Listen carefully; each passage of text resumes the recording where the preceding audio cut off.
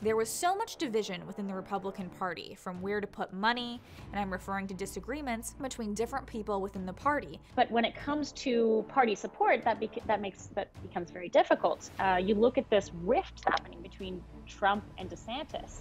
I know the lamestream media is ecstatic that the red tsunami didn't manifest the way it should have.